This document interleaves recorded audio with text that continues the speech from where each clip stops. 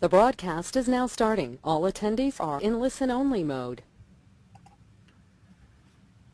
Hi, this is Ryan Helger with Excelsior Company.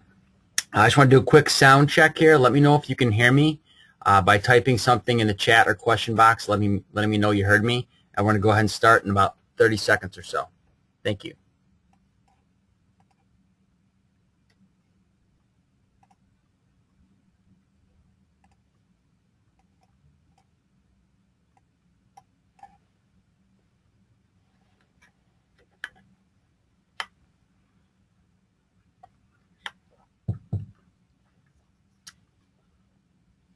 All right, looks like we're good to go. A bunch of folks uh, responded in and they could hear me just fine.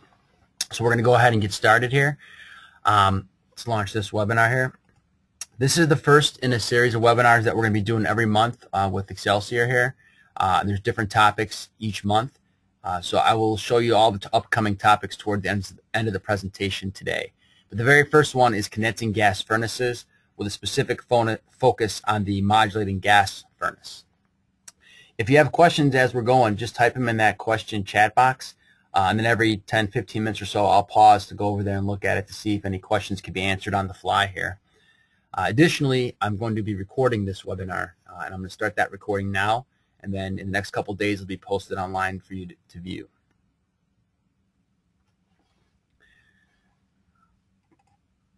All right, so first things first, the most exciting part, which is model numbers, which I know everybody loves.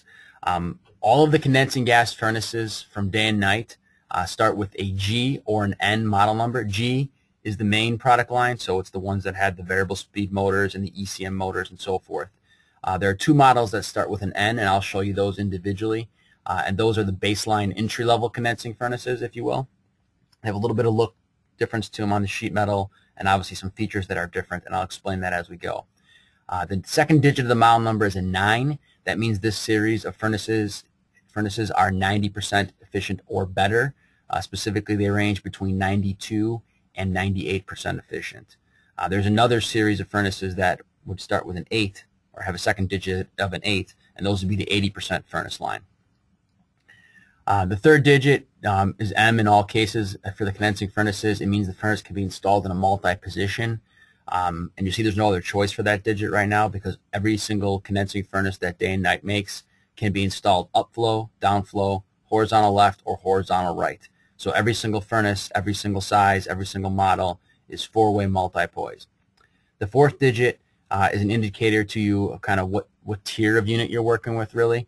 Uh, so if it's an A, it's the modulating gas furnace. There's really only one model that's going to be in that, uh, in, or one model family that's going to be in that category. Uh, v means it's variable speed. X means it's an ECM motor and S means it's just a regular entry-level, you know, single-stage type unit. Um, the most exciting digits over here towards the end, the heating capacity, the 080 on this example, tells you the BTUs of the unit that you're working with. So 080 is 80,000 BTUs, 100 is 100,000 BTUs, and so on. Uh, the next set of digits is the width, so 14, 17, 21, or 24-inch width cabinets. And then towards the very end, uh, you'll get two digits to express the airflow capacity of the blower of the furnace. So in this case, it's a 14, which means it can do 1400 CFM, which is basically like a three and a half ton unit.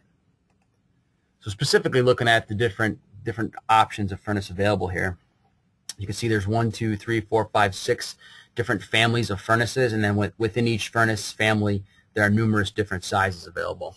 Uh, the very first one is the G9MAE. Um, some of you may be familiar with the furnace line that we had uh, last year, and the G9MAE replaces the G9MAC. Uh, so it's slightly different, basically some changes to the heat exchanger and so forth. Um, this furnace uh, is 97% efficient in all sizes, except for there's one size that is 98% efficient. Basically, it's so they can market it that way, is what I would probably tell you. Um, but generally speaking, it's a 97% efficient furnace unless you happen to have the one special size that's a little bit better. Uh, the smallest size is 60,000 BTUs. That's because you're going to find that this is the modulating gas furnace, so it can be used when you have a little bit smaller loads, like 40,000. You could put a 60 on the 40,000, and it could modulate down a little bit, although generally we discourage that. Uh, and the largest size will be 120,000 BTUs. So 60, 80, 100, 120, and 20,000 BTU increments. The next column down there uh, indicates that it's a communicating furnace, and we'll talk a little bit more about that towards the end of the presentation today. Uh, but communicating means that it can communicate to a controller on the wall in lieu of a thermostat. So basically a thermostat that's a communicating thermostat. So it's not just going to give you your normal G, Y, and W type signals.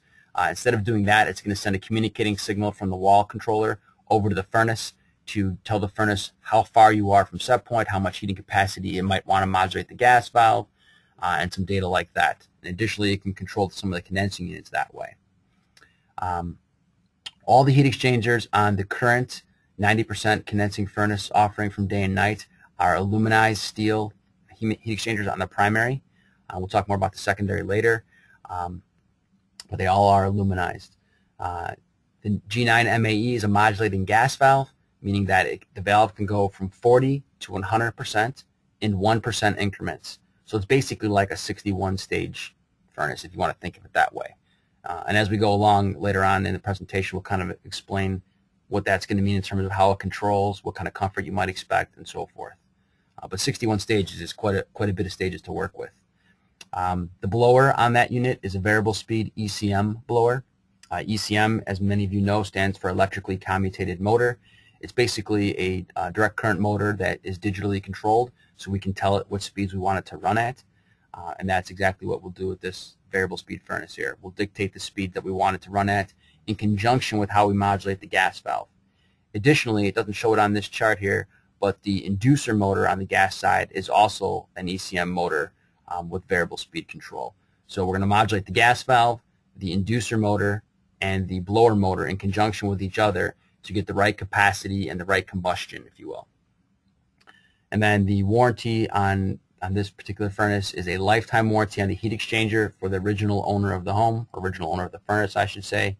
Uh, if you sell the house, it becomes a 20-year uh, limited warranty. Uh, and then it's 10-year on the parts. And in all these cases, this is assuming that you or the homeowner are filling out the registration paperwork. Otherwise, the warranties are a shorter duration.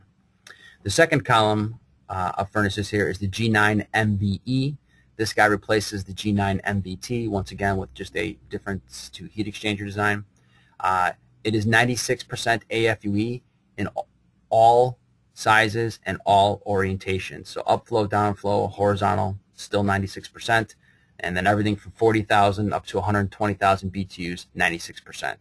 So kind of the nice thing about this product line, actually all six of these, um, well, except for the very first one, they're all the exact same efficient for every size that that's available. So it makes it a lot a lot easier to deal with these when you're talking about rebates and tax credits and things like that. You don't have to sit there picking apart the product data manual to figure out, well, if I have this size and this orientation, oh, it's not 96 anymore, it's 94.9. We don't have to deal with that anymore. Um, it's 96% in all cases, 96, 96, 95.5, and 92.1. The only one that's different is one special size of that G9 MAE that's a little bit better than the 97 uh, that all his buddies are. But in any case, the second column still G, G9 MVE is also a communicating furnace.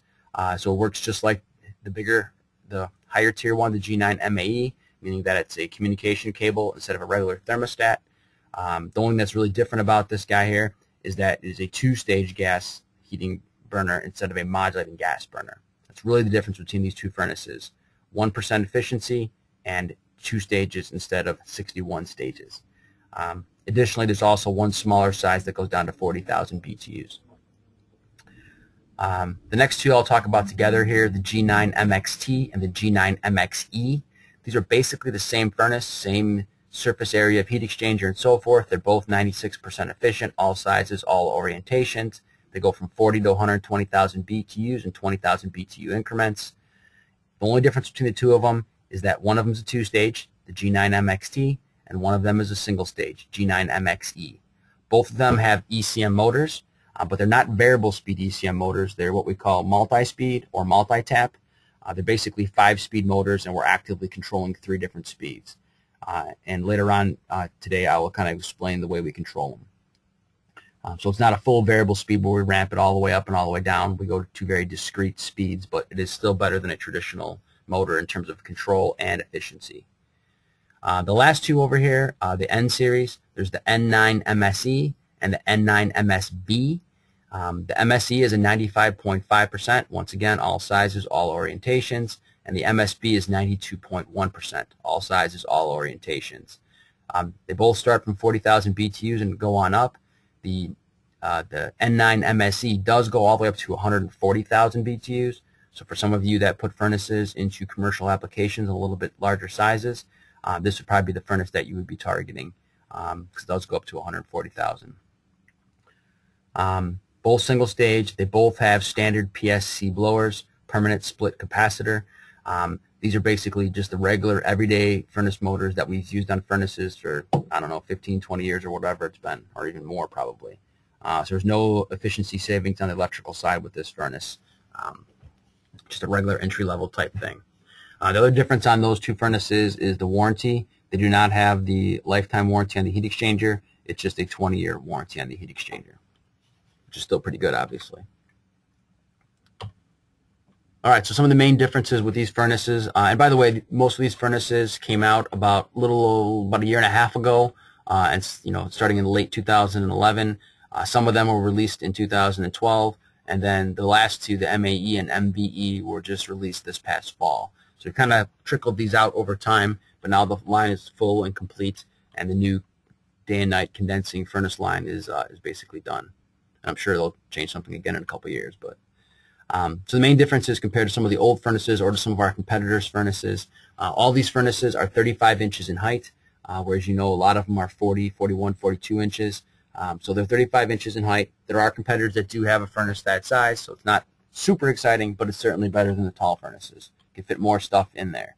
You have more room to jam in humidifiers and UV lights and and uh, APCO air purifiers and whatever else you're going to stick in the ductwork.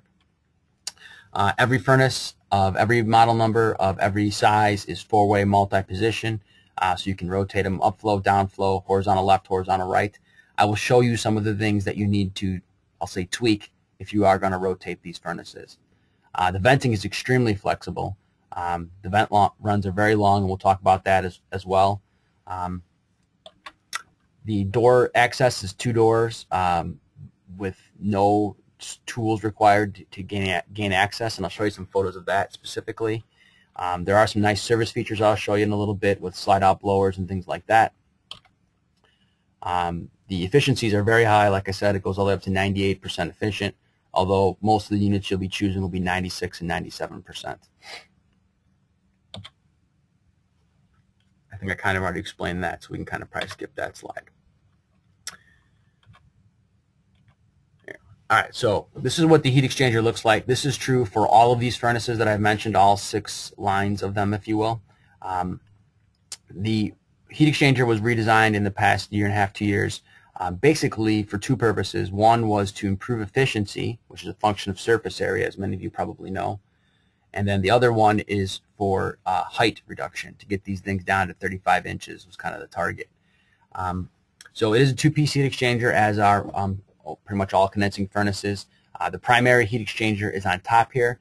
This one happens to be a four-cell heat exchanger that we're showing you a picture of, um, and you would have four burners lined up with these four inlet holes here. So combustion would be happening here, blowing flame into the primary heat exchanger. I think you guys can see my uh, mouse, but if not, I will use an arrow thing here. Uh, hopefully you can see that. Um, so uh, combustion flame and gas is going through the heat exchanger, makes a couple of passes. On its way back through, it actually moves along the top here. It looks like it goes up and down, but the gas basically moves along the top, and this extra spacing, if you will, is to get more surface area uh, to help this guy out. Uh, then the gas will make a turn in the backside over here, and then come through the secondary heat exchanger, which we'll talk about in a minute. So this primary heat exchanger um, is aluminized. Um, some of the older ones were stainless steel. Um, we're phasing those out. So the whole design is aluminized steel. Uh, it's a clamshell design. It's something that has been used for decades uh, through the parent company of Day and Night. So it's a well-established primary heat exchanger. I gotta get rid of that little mouse thing here. All right, so on the secondary heat exchanger, which is the bottom half of this guy you see here, um, it is a stainless steel fin design. So the combustion that's going, gases that are going through this guy, through each one of these little tubes, as you see down here in the bottom right, uh, those are all stainless steel. uh, but it is a fin and tube design. Um, so the fins that are hanging off of here are actually aluminum. So it's stainless steel tubes with aluminumized fins. Um, and the whole purpose of the fins is to get more surface area, to get more heat transfer, to boost efficiency. Um, so just like with condensing units, most of you probably have noticed in the past, you know, five plus years or so, that condensing units started getting really, really big. A lot of you probably blame that on R410A, which it's actually just a coincidence that R410A started becoming popular at the same time we started making these things more and more efficient, 13 SEER and up. Um, so a lot of these big heat condensing units are large because we needed more surface area and heat exchanger, which is why you need two guys to install one nowadays. Um, but to get more surface area is the best way for any type of HVAC product to get more heat transfer and hence better energy efficiency. So that's why we got a fin and tube style design on this here. The fins are really giving us the surface area that we need.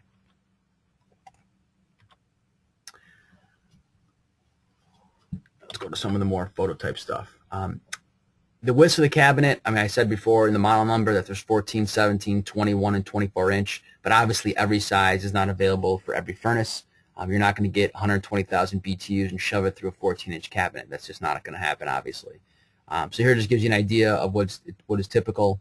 Um, if you do have the application for skinnier furnaces, 14-inch wide furnaces for like condo replacements and things like that, they're typically available in 40 and 60,000 BTUs. You typically don't need larger BTUs on furnaces that small because, like I said, it's usually a condo job, and there's not a lot of condos that are so massive they have a 120,000 BTU furnace. Uh, likewise, on the opposite end of the spectrum, uh, we don't waste our time trying to put 40,000 BTUs through a 24-inch wide cabinet because the airflow would be too high and it would cause the discharge temperature to be too cool. So you can see there's going to be discrete sizes. Sometimes you'll find a size that's available in multiples, like a 60,000 can come in a 14 or 17 inch cabinet. An 80,000 can come in a 17 or 21 inch cabinet. So you do have a little bit of flexibility to work with there. As far as all the services go to these furnaces, and right now I'm still talking generically about the entire condensing furnace line. Uh, in a little while, we'll talk more specifically about the modulating gas. But right now I'm talking generic. Uh, everything I've mentioned so far applies to the 92% all the way up to the 98%, uh, single stage, two stage, and modulating. Uh, but all the services coming into the unit are basically available on every side of the unit. Uh, so by that I mean I can have the gas connection on the left side or the right side, electric left or right, combustion air left, right, or top, vent exhaust for the for the combustion process left, right, or top, the uh, condensate drain left or right, um, the return air left, right, or bottom. So I have pretty much total flexibility on replacing this into an existing situation and trying to line up with the services that are already there, gas, electric, um, combustion, condensate, return air, etc. We'll talk more about each one of those individually in a minute here. This is what the furnace basically looks like. Like I said, it is a two-door design, so there's a top door and a bottom door. In both cases, there are just two quarter-inch uh, handles that you would turn to release the door. And once you take the door off, you're basically into everything. You do not need any nut drivers or screwdrivers to take any additional panels off. That's both true on the bottom where I have my fan and electrical connections. Uh, once I take the bottom door off, I am in. I have direct access to the circuit board and all of my termination wiring. I don't have to take any other panels off. Same thing on the top. When I take the top panel off, I am into the combustion chamber. In fact, the top half of this furnace is the combustion chamber. Uh, it's a sealed vestibule or semi-sealed vestibule, and I'll explain that as we go. Depends on how well you seal it. Um, but once I take that top door off, I am into the combustion. I can see the burner. I can see the flame. I can measure things, test things, etc. I don't have to take another enclosure off to get to the burner. So here shows you some of the services coming in. Uh, because the top half of this furnace is a sealed combustion chamber, the door is actually gasketed. Uh, additionally, when you make all your connections for vent, exhaust, gas, electric, and so forth, um, you do need to seal those up as well because if you don't, it's no longer a sealed chamber. That's why I call it kind of semi-sealed. Depends on what you've done to it. Um, but as you make a penetration hole in it, say you're going to bring in your gas line, uh, we ship with the furnace in the loose parts bag a uh, rubber grommet that would be installed on that gas line to seal up that penetration where the gas line comes in, right? Uh, and then the same thing with the combustion vent I'll show you how those connect and seal. Um, so every time you bring a, a, service into this unit, you're going to be using the factory supplied connector piece, whether it's a grommet or a, um, a uh, what I want to call it, a flange uh, for the for the piping uh, to bring things things into this unit. Uh, as far as the venting goes, um, right now this is an upflow furnace that it comes defaulted as. I'll show you downflow and horizontal in a second. Um, but the furnace ships as an upflow furnace and it ships in this middle configuration here. So it's assuming that you want to have supply air coming in through the bottom of the furnace, uh, excuse me, return air coming to the bottom of the furnace, supplying out the top, combustion air coming in the top, exhaust air leaving on the top. If you don't like that, or more properly, if your project doesn't need that, you can start changing things. So if your services for combustion air and exhaust are already on the left side of the furnace or are going to be going out the left side wall of this house, um, there's this vent elbow on here that you can rotate, and I'll show you a zoomed up photo of that in a second. You rotate that elbow instead of pointing straight up like the middle one, you point it to the left, and now you can vent out the side of the furnace to the left. Or you can rotate it right 90 degrees and vent out the right side. Combustion air can come in any side, left, right, or top. It does not matter. Um, once again, once the combustion air makes its way to the furnace uh, assembly, there's no more combustion air piping because the whole top half is the combustion chamber. So the combustion intake pipe just makes it to the furnace and it does not continue on. Whereas the exhaust pipe has to leave this venting elbow, be piped out of the unit completely. If I were to flip this furnace upside down on top of its head and make it a downflow furnace, meaning the return air is going to come in now what is the top of the furnace and discharge towards the bottom. Uh, I got a couple choices on what I can do to vent it. I cannot leave it in the default position like we showed here on the middle one because that default position would want the combustion air to continue going down and we cannot go down with the uh, combustion and exhaust air. So I got to rotate something. If I rotate it to the left here, the elbow, 90 degrees, I can, I can exhaust out the left, take my combustion in that way. I can rotate it this way on the far right side, exhaust out the right, take my combustion air in on the right. Or if I wanted to, I can rotate the elbow 180 degrees and then exhaust through the blower housing and out the unit. Uh, three cautions with this, I guess. One, if you're going to do it, you got to order the internal venting kit that goes with that, which basically gives you the grommet sealings to seal up these two penetrations you just made through the blower housing. Uh, the second thing is uh, keep in mind that you're going to be putting PVC pipe directly in front of the blower housing and circuit board that are with that, that section of the furnace, so it makes it a little bit harder to service. So you're really only going to do this if you have to kind of thing. And the third thing is I just have a mental block in my head about running combustion air through the blower housing of the unit. So really you're only going to use this middle configuration if you're in some very tight downflow condo situation where you literally can't vent out left or right. And then there's the horizontal choices. You can go horizontal left or right with the airflow. And when you do that, you got some choices on what you can do with the combustion and exhaust air. On this left here would be the default shift position right? Because this elbow would have been pointing towards the top of the furnace, which is now the left side. So I can exhaust out the left, take my combustion in that way, or I can rotate it and exhaust out what is now the top of the furnace on this bottom picture right here. Can you guys see my mouse, by the way? If someone lets me know, type in if you can see my mouse moving around um, as I continue to point at stuff. Uh, or if I wanted to and I had to go out the right-hand side of this guy, which is now the bottom of the furnace, oh, good, you guys can see the mouse, great. Um, then what I could do is rotate the elbow 180 degrees, cut through the blower housing like I did in the previous drawing, order it with that internal vent kit, which gives me the penetration sealing uh, options to, to pull air through that way. And then I can go right, which is just a mirror image of left, so we don't have to spend any time on that really. All right, if anybody has any questions as we're going here, just feel free to type them in. Bob actually typed a question in um, asking if there's pip pictures of what I'm talking about, and I'm assuming he typed that in before he started pulling some of these pictures up. So, but there's basically a picture for everything I've mentioned so far. So if I haven't shown it to you yet, I will very shortly. Uh, it is possible and permittable to take combustion air from the attic space or from the uh, crawl space area of a home. Uh, the furnace, I should say, permits that. Sometimes local codes may or may not allow you to do that. And generally speaking, it's bad practice to steal air from these spaces because those spaces then become negatively depressurized relative to the outdoors, which means you start sucking crap in to those assemblies from the outdoors. So whenever possible, um, get all your, your combustion air directly from the outdoors. If you have to steal it from the attic or crawl space, the furnace, the manufacturer of the furnace, day and night allows you to do that if you have to. And there's also allow, allowances for taking air from the actual home itself, uh, but there are caveats with that also. You can't, you can't take it from those spaces if you need to. These two drawings here show you that if you are going to take combustion air um, from, say, your attic, for example, we want you to be 12 inches above whatever is on the bottom of your attic. So a floor, piles of insulation, whatever it is, we want you to be a foot above that so you're not sucking in whatever's on the floor of that attic. Uh, same kind, kind of thing in a crawl space. We got some rules on we want the intake of the pipe to be three inches away from whatever is above it, the bottom of whatever is above it, and then 12 inches above the ground, um, so we're not inadvertently sucking stuff into the combustion chamber on accident. If you need to steal air from the home, and by that I mean um, you're not going to run a combustion intake pipe all the way to the outdoors. Um, we prefer you do it, obviously, because the air outdoors is generally um, cleaner and better for combustion than the air indoors. Plus, if you take air from inside the house, you are depressurizing it, which can cause other problems, such as backdrafting your water heater or your fireplace or something like that.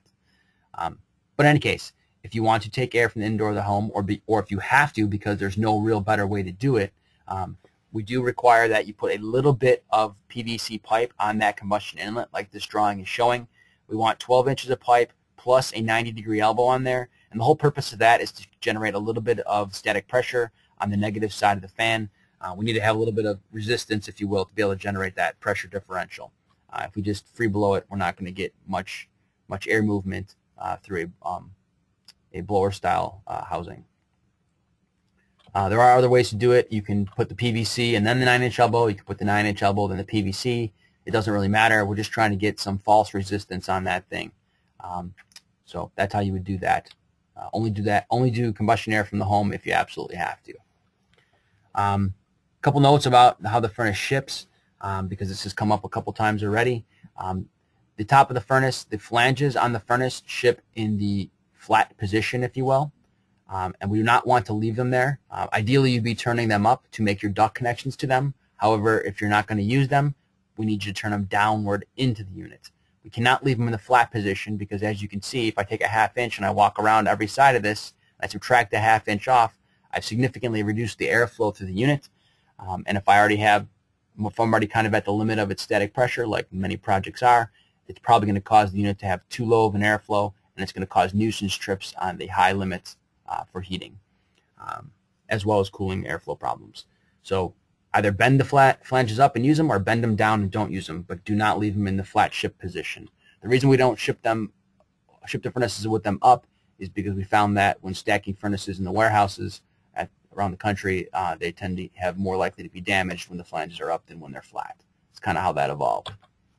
So here just shows you some pictures of that. Um, if you're going to use the flanges in an upflow configuration, great, bend them up, straight up 90 degrees, make your connection. If you're not going to use them, that's fine too. Bend them down. Just showing you here 120 degrees to get it out of the way. Do not leave it flat.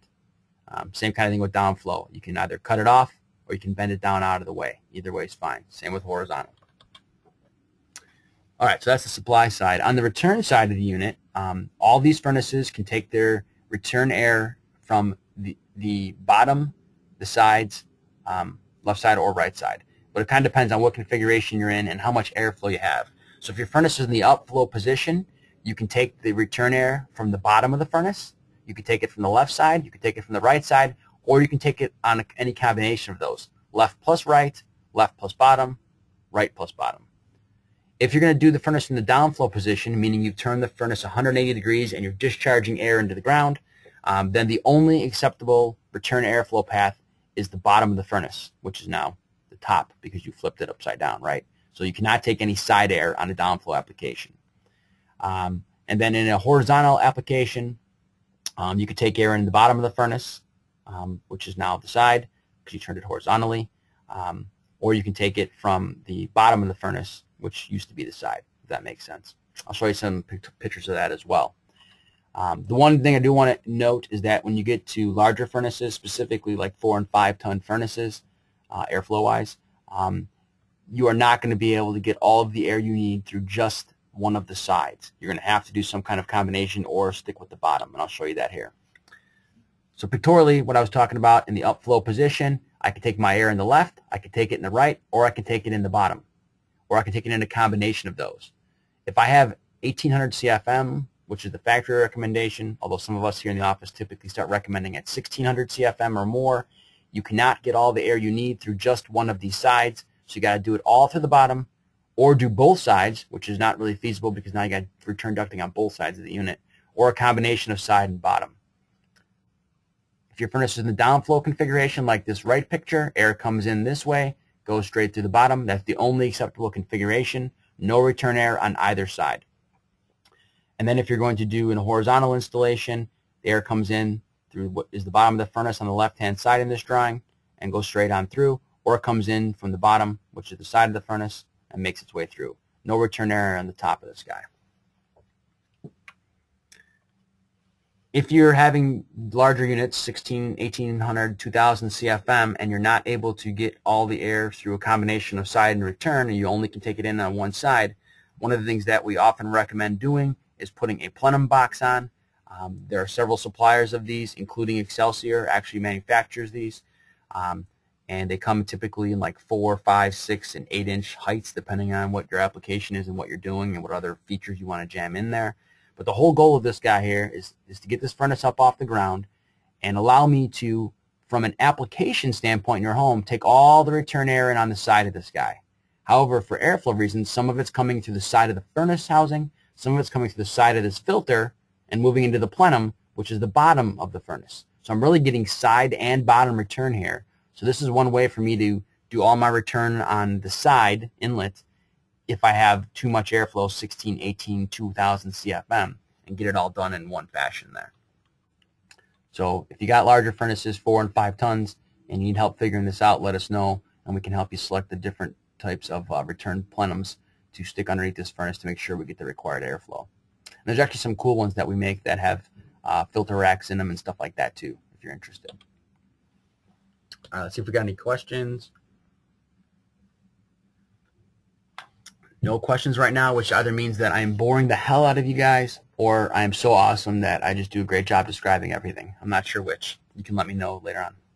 Um, uh, for gas connections, like I said, you can take the gas on the left or right side. Here's a blown up picture of that showing you the grommet. The grommet is in the loose parts bag that comes in inside the furnace there. So you'll make your gas penetration. You make your knockout, put your gas pipe in, put the grommet on, and then make your gas pipe connection. You can come out on the left side here, or you can go out the right side of the unit. Uh, if you go out the right side, what you're doing inside this cabinet is you're making a 90 degree turn, another 90 degree turn, and then the gas pipe is moving on out the right side of the cabinet. Uh, electrical, that's pretty easy. Uh, I think most of you guys can realize we can take electrical in from pretty much anywhere because wires are really easy to bend. So we take it in the left side or the right side.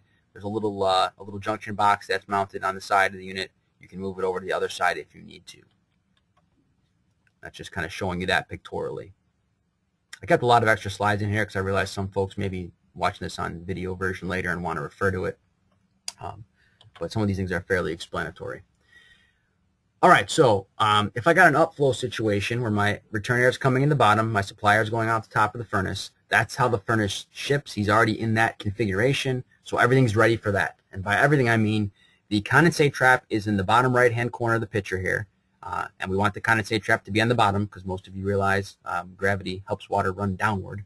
Uh, so we want the condensate trap to be the lowest position. Um, so in the upflow position, he's down here. The venting elbow is right here on the top. He's rotated to go straight up. And if I want to vent out the top, that's great. Everything is the way I want to do it. However, if I were to rotate this entire drawing I'm showing you 180 degrees, now the condensate trap wouldn't be in the bottom right-hand corner anymore. He would have rotated and been up in the top left-hand which means that it's not going to do a good job of letting water from the condensate run down to it. So what you actually have to do is flip the condensate trap. I don't know if you can see in the left side drawing here. There's three little plugs here. Over here on the right, I would take my condensate trap off with two screws, take these plugs out, put the plugs where the trap was, put the trap where the plugs were, and basically everything would be ready to go. So I can flip those two guys. Same thing if I go horizontally and I were to take this whole drawing and rotate it 90 degrees to the right, I would have to leave the trap here but I would rotate him 90 degrees, which is why I got that other plug to move.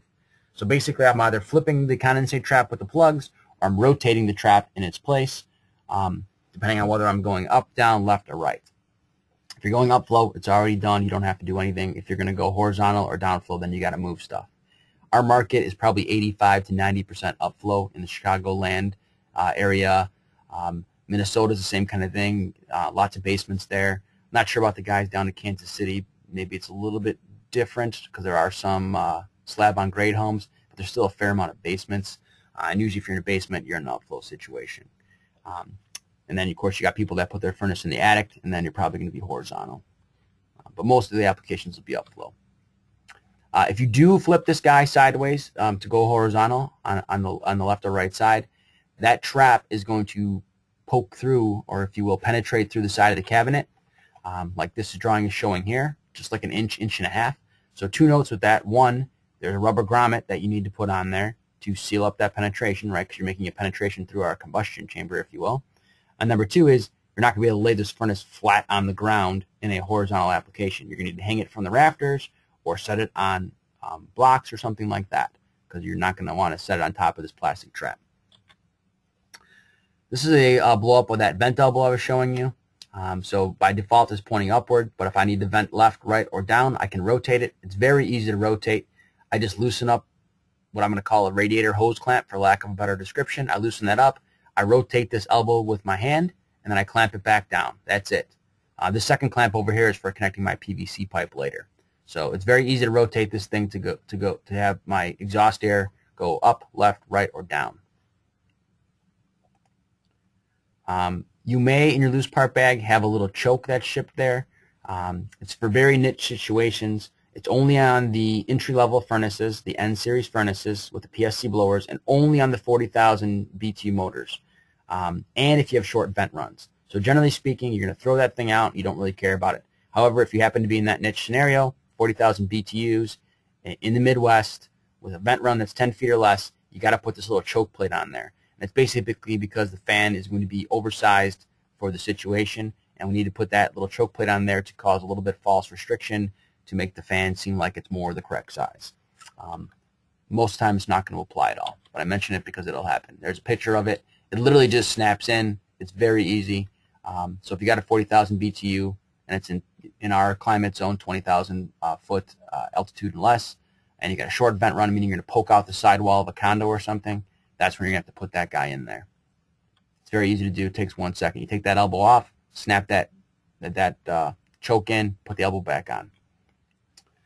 The condensate trap um, in this photo is clear. It is act not actually a clear condensate trap. Well, it's half clear, I should say. Um, the engineering team wanted to make it clear based on dealer feedback.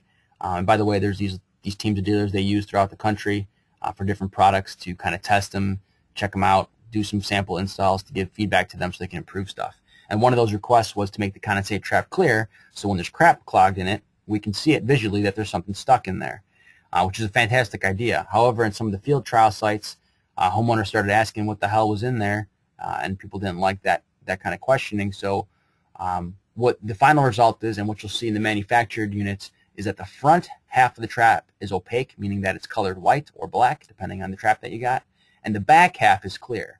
So the homeowner doesn't see anything, but the service tech, if he needs to see if the trap's plugged because he's having a problem, can take a couple screws out, take the trap out, look at the back of it and say, oh yeah, that's why. There's this piece of junk in there. Right, so that's why that's like that. Uh, here's just some zoom ups of that trap. Um, and it's just attached with a couple screws and you'll be rotating it to different positions based on how you decided to install the furnace.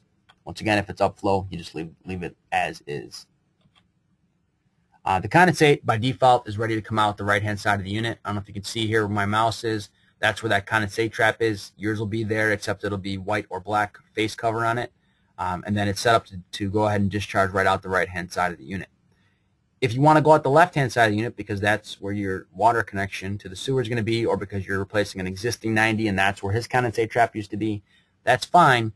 Um, however, we give you this um, interesting shaped pipe that we call a Z-pipe in the loose part bag because I don't know if you could see very well. Let's see if there's a better drawing of it. Here, this is probably the best drawing of it. Uh, the condensate trap is over here on the right where the red arrow and my mouse are. If I want to go out the right-hand side of the unit, easy, no problem. If I want to go out left, what's blocking me, right? I got these pressure switches in my way as well as part of this fan housing. So that funny shaped Z pipe, because we give it to you because we don't think anyone's going to be trying to bend PVC into this weird shape. Uh, it goes behind the motor housing and comes out and ends right about here.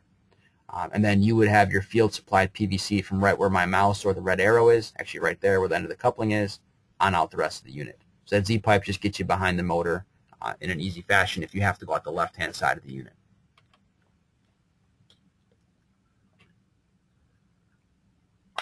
All right, so venting. Uh, the venting is phenomenal. Um, we can vent distances that we never even conceived as being feasible on a furnace in the past. Uh, basically, it's a function of the inducer motors. Uh, but this is the venting table. Um, this is for the N series 90 percenters as well as the ECM controlled um, G series. The modulating gas unit has a little bit higher length runs than this. Um, so this is conservative. So for sake of our discussion, we're going to say this applies to everything. Um, but there is one specific furnace, the modulating gas unit, that can actually go a little bit longer runs than this. But if we take, for example, and you can ignore the bottom half of this chart because that's 2,000 altitude and up, and as you go down in the tables, you would have gotten even higher, but we don't care about that. In the Midwest here, we only care about 2,000 and under. So if I take the typical, you know, 100,000 BTU furnace, if you will, if I look at this chart, it says, nope, you cannot vent it in one and a half inch pipe. You got to go up to two inch. And with two inch, you can go 25 feet of run, uh, of equivalent feet, which means the actual length of run plus any uh, penalties for elbows and fittings. And I'll show you the chart for those in a second. So if it's right near the sidewall, 25 feet, no problem. If it's going to be a little bit of longer run, I got to go to two and a half inch. Two and a half inch is not a very common PVC size, so it's not very cost effective. So three inches probably cheaper than two and a half. So if I look at it that way, I can go 235 feet. If I got to go a little bit further, I can use four inch and go 265. Um, on the smaller sizes, if you look at say a 60,000, I can use one and a half inch and go 30 feet, 135 with two inch, 235 with two and a half inch, 265 with three inch, and so on. Um, so you can see these vent runs can be quite long, and the whole purpose of this is to prepare for the future condo and apartment replacement markets when eventually at some point in time the 90% DOE rule actually goes into effect. Uh, and by the way, most of you probably know that was supposed to go into effect May of this year. It has been delayed. Uh, the DOE is going to review the process and then reissue a ruling and it can be anywhere from, let's say, one to five years before it actually happens now. So it's not going to happen in May for 90% minimum. It'll be sometime in 2014 or to, to 2018, let's say. Um, but when that happens, these these these series of furnaces are already ready to handle those kind of applications. Now, getting the PVC running through your neighbor's living room is, is another challenge, right? But at least the furnace can handle the distance. The applications will still be challenging, obviously. Um, here's a shows you an example of the deductions table in the furnace. So when we say it can go 150 feet, for example, um, let's just do the one that's on here. Let's say that the maximum length from the table is 127 feet. If I had three 90 degree elbows, I would look at that and say three of these elbows uh, at, what did he use? He have used a long, long radius, which is three foot of penalty. So three elbows times three foot of penalty, that's nine feet. And I got two 45s. The 45 was a uh, one and a half foot penalty right here. Boom. So two of those times one five, that's three. So instead of 127 feet, I can really only go 115 feet. So the more elbows you put in, the more distance penalty it is. Because really, we don't really care about the length. We care about the, um, the static resistance of the inside of the pipe. And going in a straight line is much easier with less static than making a 45 or 90 degree turn. Those turns will have a big pressure penalty associated with making that turn. Um, so the more elbows you put in, the less distance you can go. And by the way, these distances are for each pipe. Um, so if it says I can go 265 feet, that's not a round trip of intake air through the furnace and back out. That's 265 feet away. So that's, I mean, 265 feet of exhaust from the furnace out of the house, um, you know, plus the inlet uh, distance, right? So it's it's one way we're talking about here, not round trip. So it's, it's extremely long runs that you can do as a maximum. When you're going to connect these pipes to the unit, um, the connection pieces are supplied in the loose part bag with the furnace as well. Um, and this is showing you the um, four pieces that are involved with the exhaust pipe, and there's also some combustion pieces.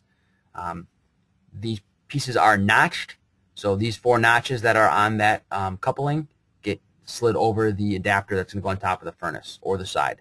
So on the right-hand side of the drawing here, that adapter, if we're going to exhaust out the top of the unit, that adapter would have a little gasket, and then we'd put the adapter on, screw it to the top of the furnace.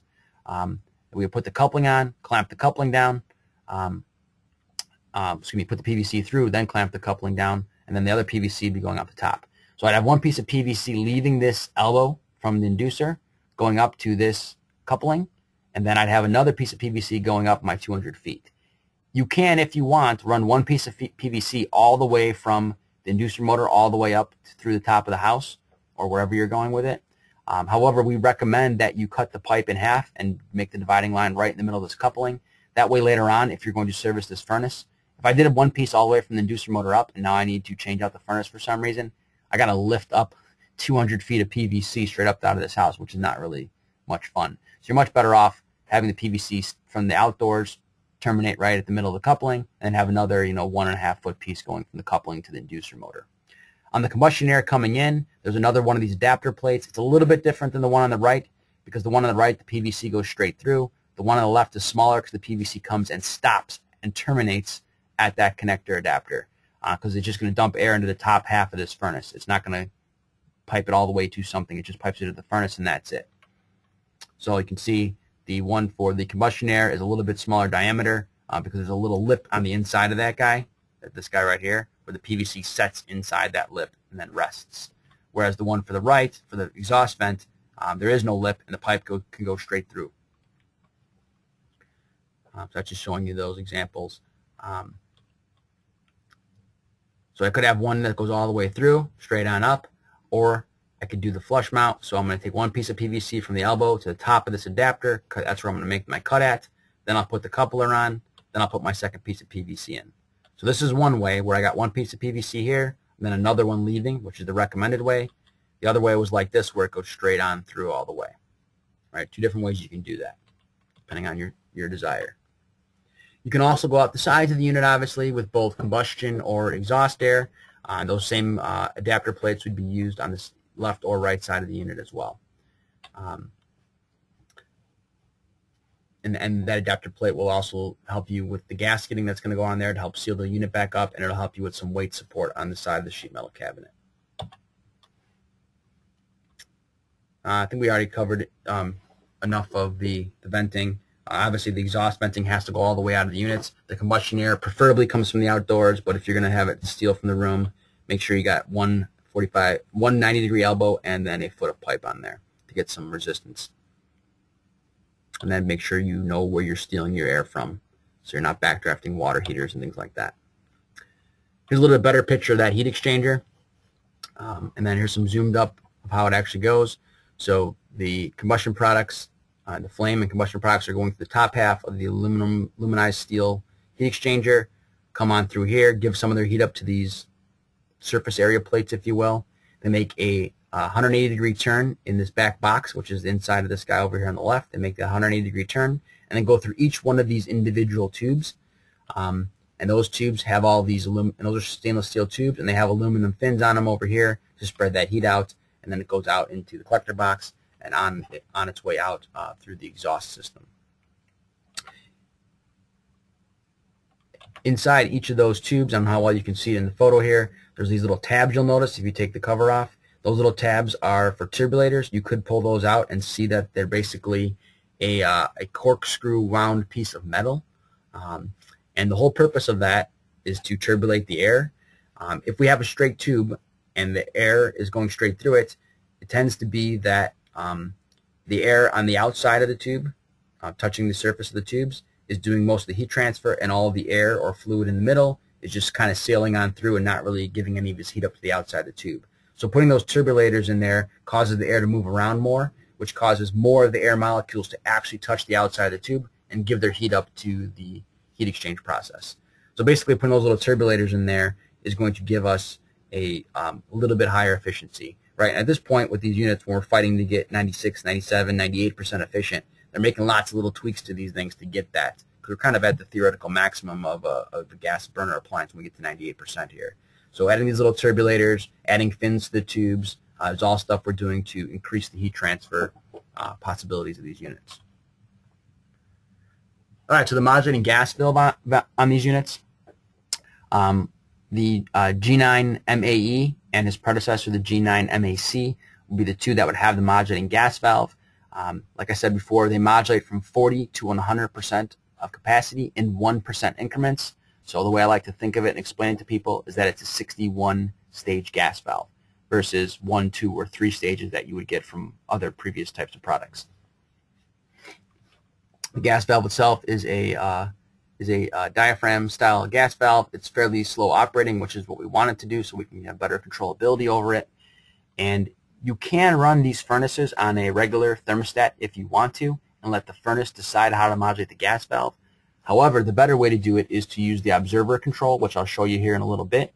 The observer control is the communicating control. So instead of saying, I want cooling, or I want heating, or I want fan only, instead of him telling that to the furnace through the normal uh, Y, W, and G commands, uh, what he's going to do is he's going to send his temperature data over to the furnace. So he's going to go and tell him, hey, it's, uh, it's 72 degrees in here, and my set point is 71.3, so you need to start modulating down or modulating up or whatever it's going to be.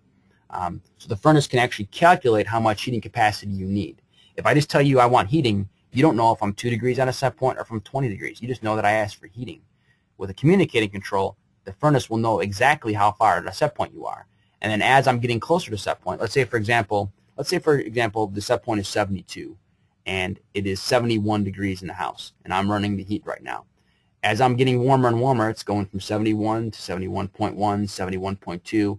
And as I'm getting closer and closer to 72, what do you think that furnace is going to do? Just sit there and, and, and hold the fort? No, he's going to start backing the gas valve off. I don't want to get all the way up to set point and then have to shut the furnace off and then 10 minutes later start this whole process again. What I want to do is keep the heat running as long as I possibly can. Now it's going to be a little bit counterintuitive and we're going to explain that a little bit on how you talk to homeowners about that because they're going to hear keep the heat running as long as possible. You're going to kill me on the gas bill. Um, but we're not running it at 100%, right? We're running it at 40, 50, 72, 91, whatever. We're running it at a specific percent. Um, so we're not going to be using more gas, and in fact, we're actually going to use less gas, and we'll explain that in a little bit. Um, so this guy is going to try to modulate the gas more or less to come right to the set point and then kind of hover there um, using as little gas as possible. That's going to be his goal in life, and I'm going to show you that in a little bit here.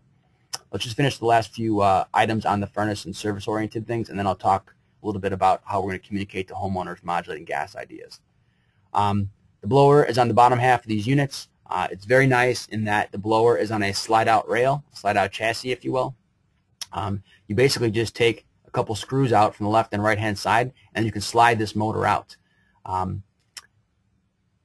assuming you are uh, smart enough to give yourself a, enough extra uh, whip distance on your thermostat cable, you could slide this whole blower out with all the wires still connected and obviously the power shut off. Uh, take this whole blower out, set it down on the ground without taking a single wire off, and you can get up underneath the heat exchanger to see if you got anything plugged in there or to clean the heat exchanger or to service this motor better, things like that.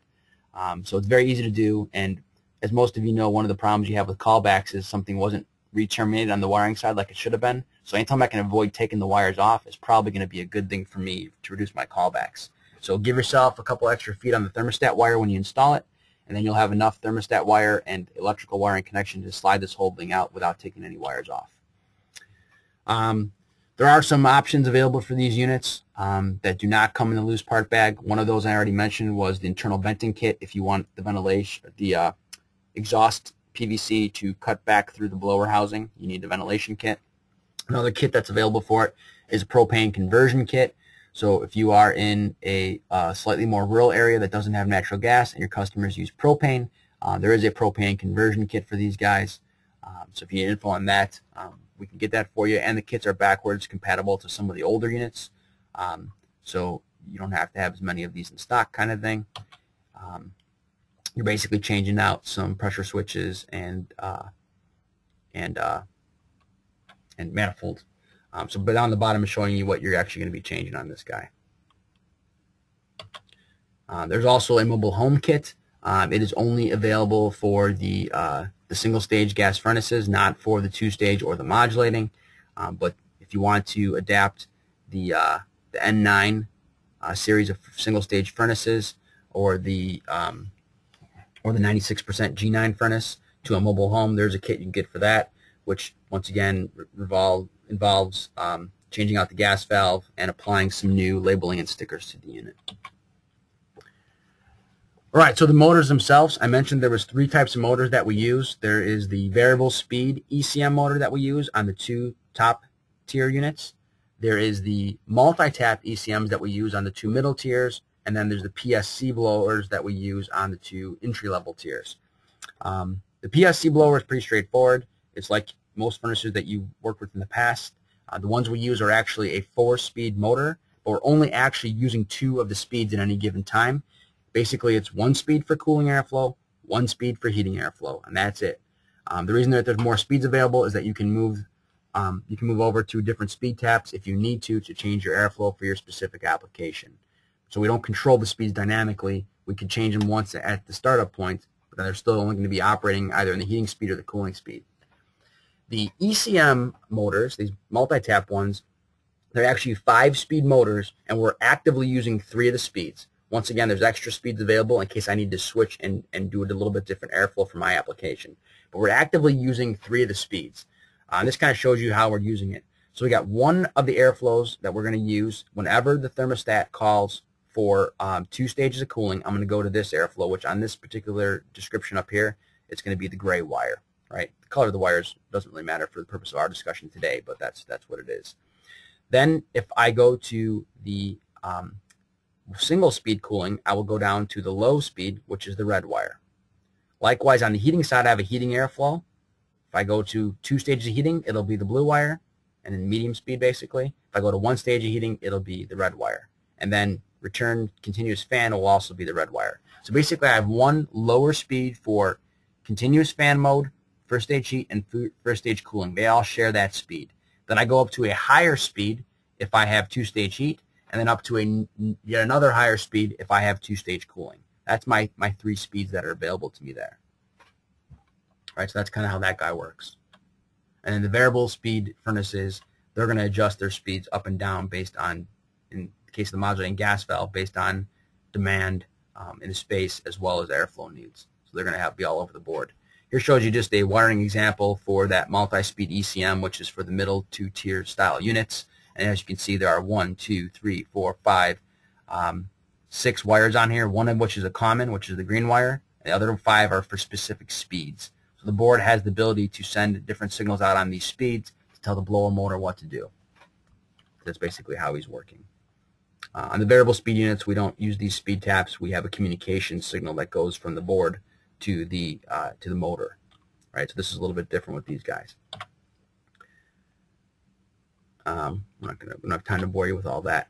So just at a quick glance, I just wanted to give you a little bit a snapshot of what the motors do. So on the far right, where it says single stage PSC, the, the, the two N series units, the N9 MSE and N9 MSB, are identical in this regard. Uh, the only difference is one's 92%, one's 95.5%. Other than that, they're identical units. Um, they're single stage, so they can be used with a thermostat with W, Y, and G connections. So heat, cool, and fan connections. R is obviously the hot. Um, they have regular PSC blower, blowers. Like I said, they're four speeds. We're going to actively use two of those speeds. If I were to step up to the G9 MXE, that is going to be the uh, the 96% single stage ECM furnace. So um, I still only have one W signal, but I have a, a W a Y2 in case I happen to have a two-stage air conditioner, which I probably wouldn't have, but I could.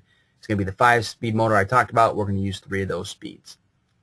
Um, here's the two-stage one, the G9 MXT. So I got W1 and W2. Um, so got, I can control more speed capacities related to my gas control. And I got my two variable speed furnaces, right, which these two on the left here, the G9 MAE and the MVE. Uh, they both have variable speed furnaces, uh, and they're going to be changing their airflow capacities based on how many stages of heating and cooling are calling, or how far the gas valve is modulated, etc. There's a couple things I do want to point out. Any of the units that have an ECM, whether it's a 5-speed ECM or a variable speed ECM, they also have a dehum terminal on them.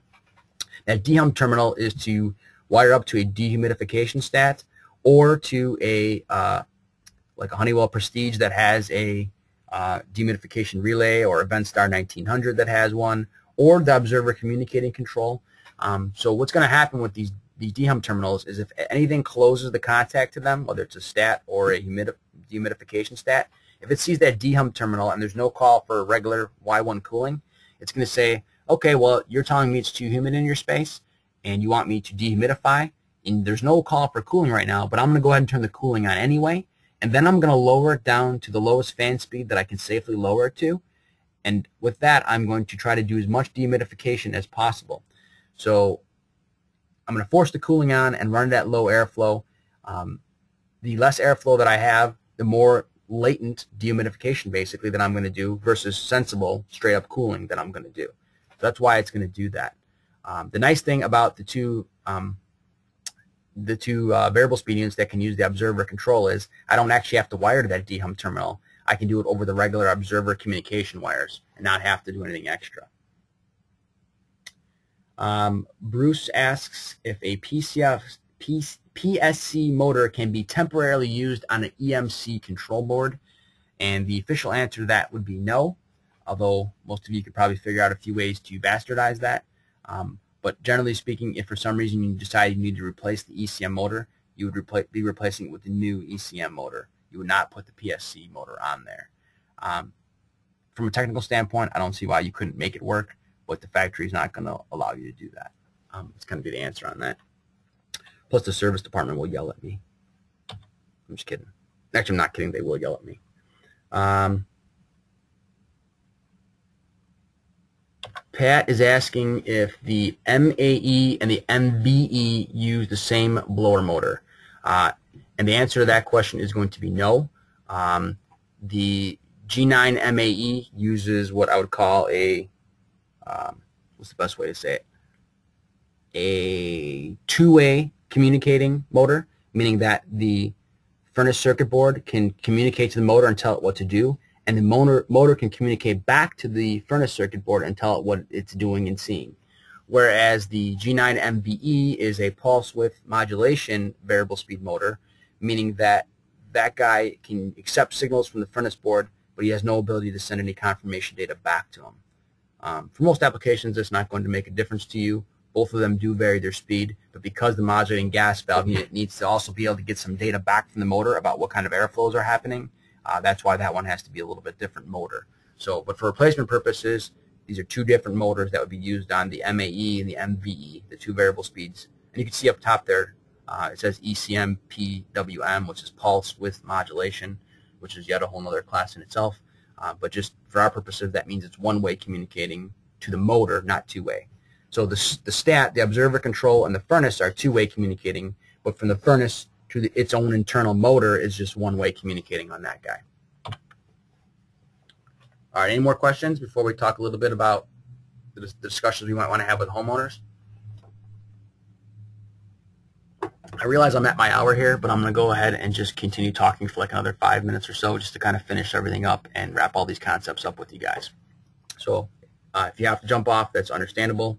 Um, you can watch the recorded ending of this later, but if you can stay with me for a little bit longer, I will be happy to continue describing everything. So some of you may have seen this chart before, and these just happen to be cities that I've looked up before for specific projects, so I threw them all up here. Obviously, other cities will be slightly different, um, but this just gives you an idea. Uh, and the reason why I want to throw this up here is to give you guys an idea of that even though it's freaking cold here in the Midwest, it's not cold all the time, right? So we like to think, you know, for example, in Chicago, we always think about these minus 5, minus 10 degree days. The guys up in Minneapolis are always thinking about their minus 15 degree design days and things like that. And we all, you know, assume that that's how cold it is in the winter. The fact is that it's only that cold for a few hours each year, if even that. Last year, it didn't even happen for most of us, right? Um, so it's only really, really, really cold for a few hours of the year. Unfortunately, we kind of need to size your furnace for those really coldest days. Um, we don't want to operate it there. We just want that capacity to be there for the day that we need it. And the rest of the time, we really want our furnace to be much smaller. So here is a numeric way to look at that. Um, some of you may realize that there's 8,760 hours in a year, or maybe you didn't realize it, but now you know. Um, of those 8,700 uh, plus hours a year in the Chicago Wisconsin, northern Indiana type areas, um, southern Minnesota, like Minneapolis, between six and 6,500 of those hours a year, we are going to be between 30 and 65 degrees outside, right? I'm only talking about heating, so this whole chart is talking about 65 degrees outside and under. But between 30 and 65, and I'm going to use the Chicago example just to make it easier, but you can look at your own column for where you're at right now. So 6,000 hours total heating, 4,500 of the 6,000, it's between 30 and 65 degrees outside. So 75% of the time, it's going to be above 30. I want to go a little further and look at between 20 and 65, it's 5,400 hours. So 90% of my winter in Chicago, it's between 20 and 65 degrees outside. Actually, 90% of my year. Um, I'm sorry, 90% of my winter. Sorry, it's between 20 and 65 degrees outside. But we size furnaces here for zero, minus three. Some of you guys do minus 10, right? Well, we have to have that capacity for when it's really cold, but I don't want to operate there because my unit turns on, off, on, off, on, off. If you look at Minneapolis, same kind of thing, 6,500 heating hours a year.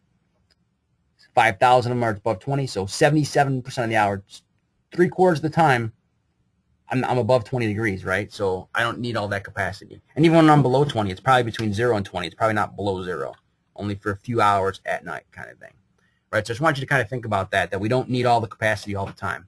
Uh, if you want to look at it pictorially, this is the Chicago example showing you, if you look at it visually, if I grab my mouse right here at 65 degrees, all these lines on the left-hand side of this drawing are my heating.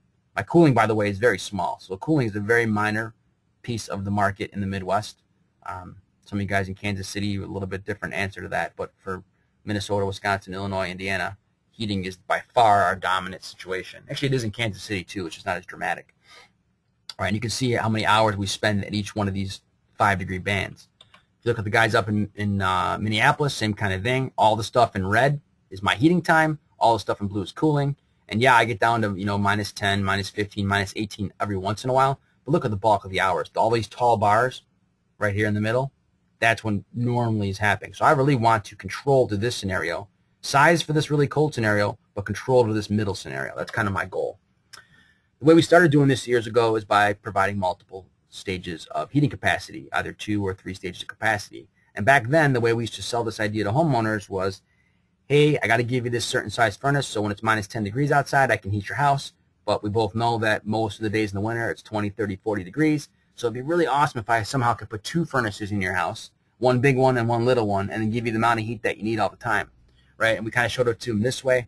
So, you know, all these ones in the little blue flames here, that's what's happening most of the time. Then when it's really, really cold, I'll bring on the big furnace kind of thing, right? This guy right here.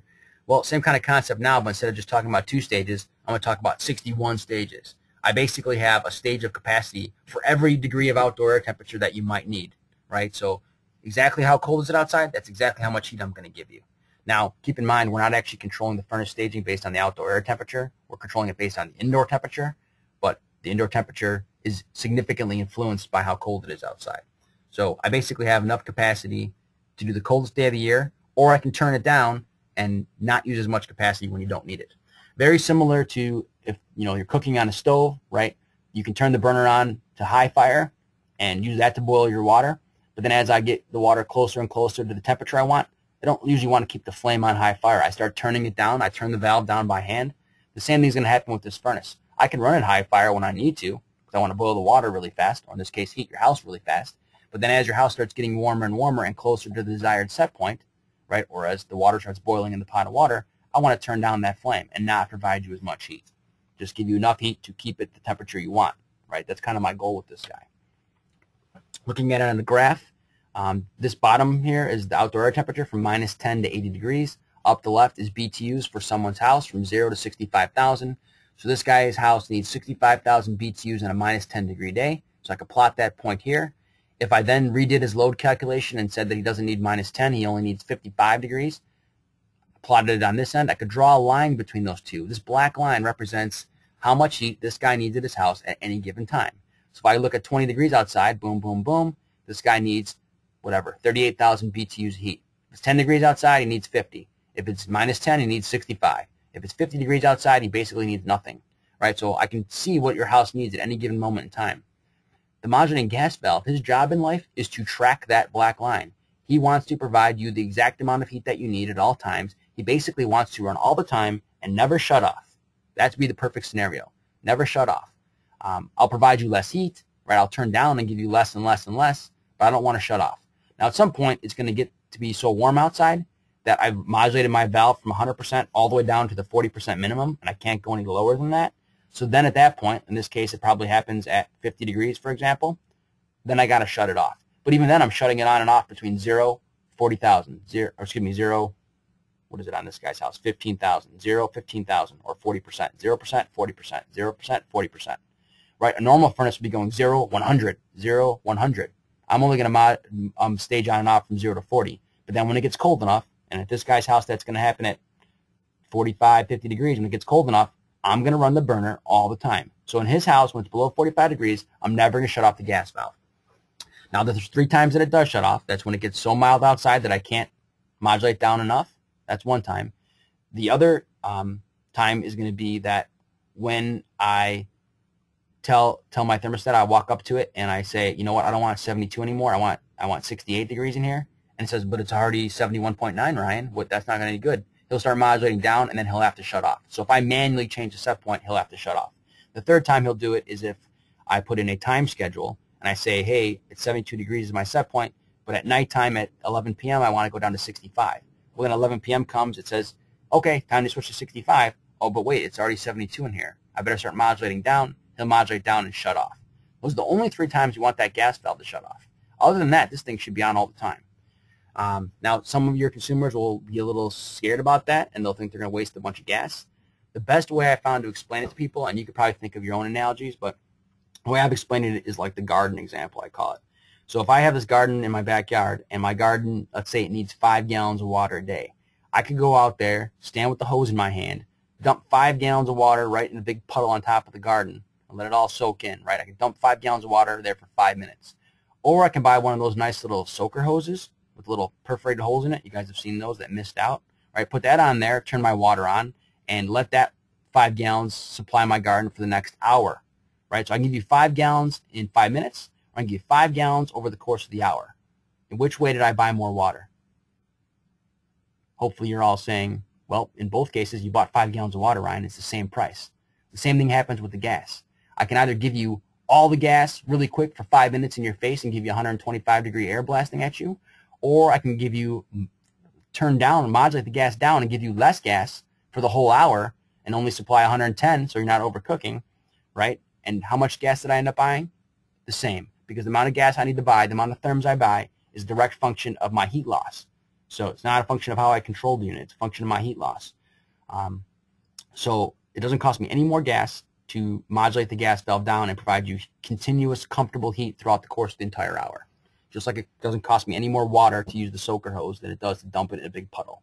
And by the way, which one's better for the garden? The soaker hose or dumping it in a big puddle where half of it evaporates off, right?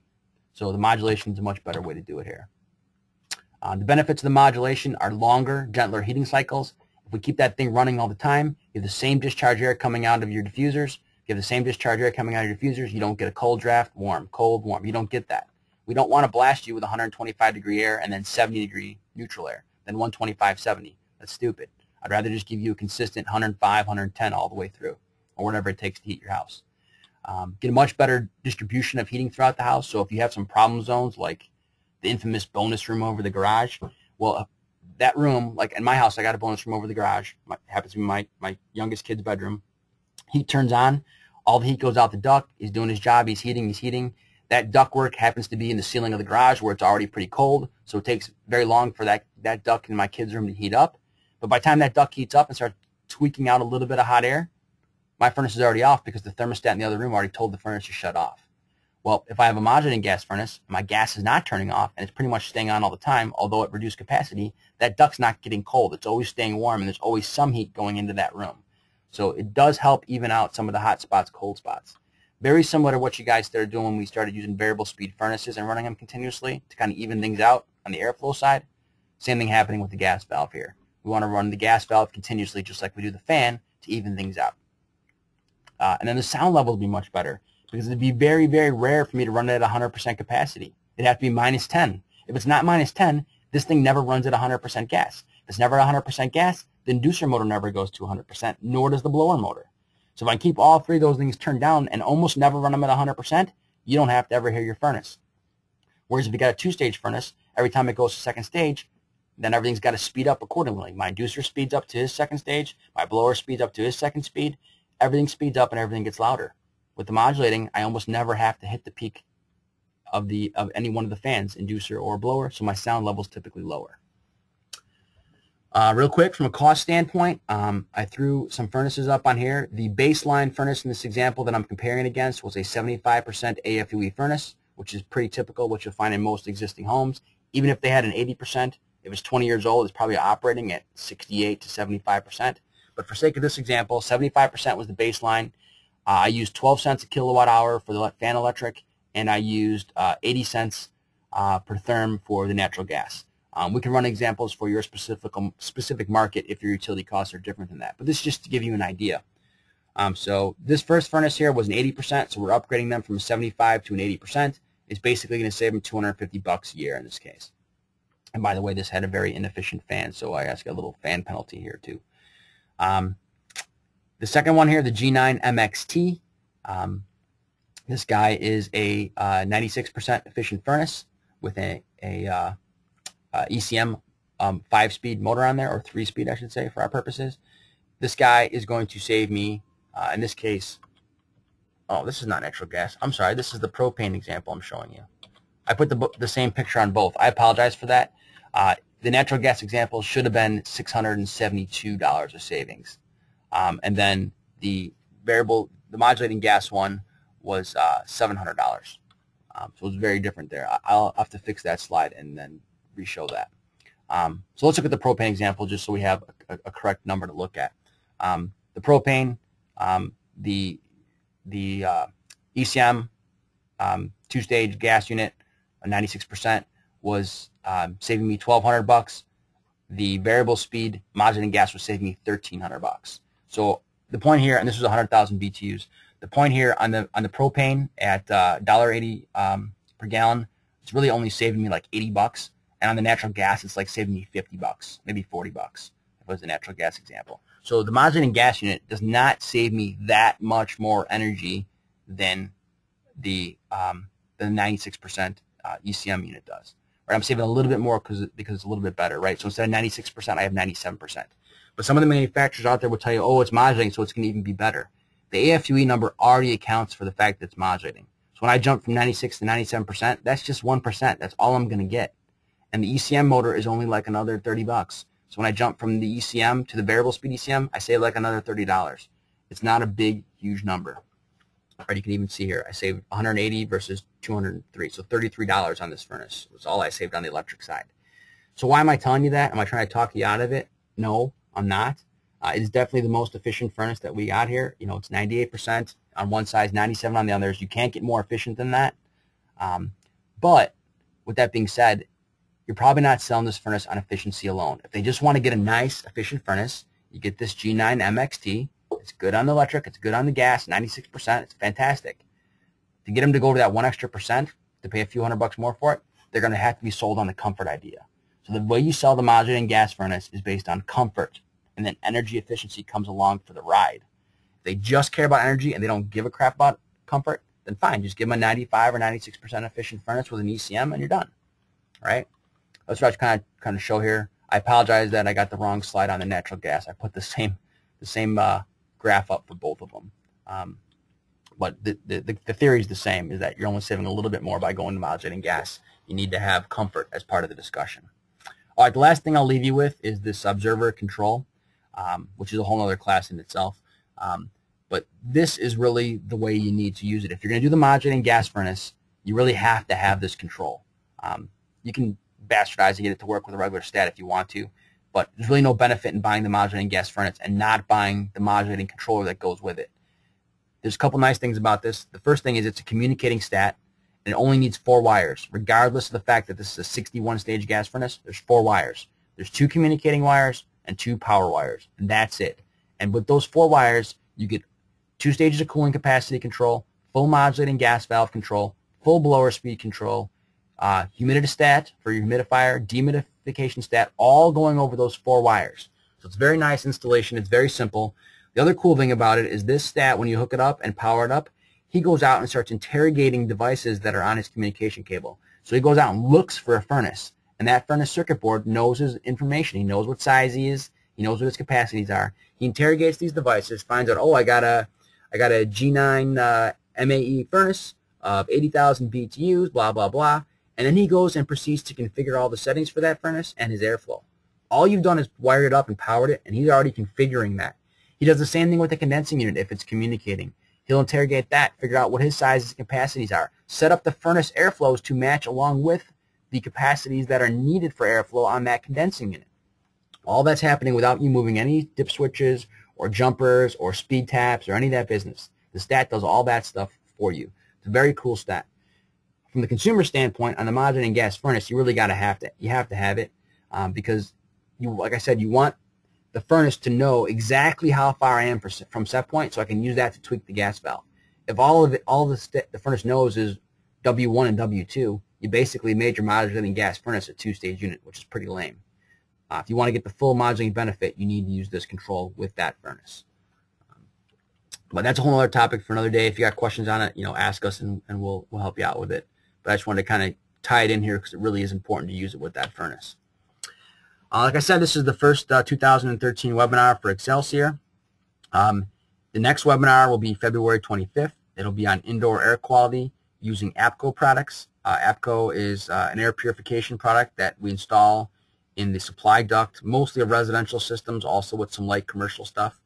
Um, and Greg Jutras, our IAQ expert, is going to handle that topic. And then in March, we're going to show you a residential load calculation program that is free. Um, and very quick to use.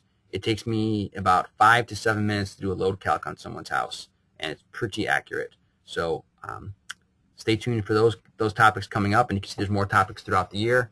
Uh, if you want to register for these as they become available, uh, the website is excelsiorhvac.com, and you click on the training button, um, and then you'll click on the webinars button, and you'll see all the webinars coming up. Um, so these all all these aren't posted on there yet because some of them are far out into the future but you'll see the ones that are posted on there. You'll also see any webinars that any of our manufacturers, such as Honeywell, uh, are hosting uh, in the upcoming months as well. Uh, so I direct you to that. But every mon every fourth Monday of the month from 4 to 5 p.m., we have a specific webinar topic. All right, does anybody have any further questions that I need to go check over here? Let me look at the question tab.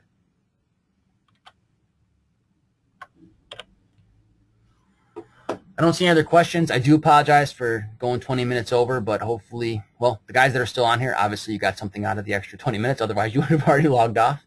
Um, and then this is a recorded presentation, and I'm going to post the recording tonight before I leave the office. So you should be able to get to it. It's the same link that you registered originally is the link for it. And it'll also be shown on the Excelsior training website, the link to the recorded version.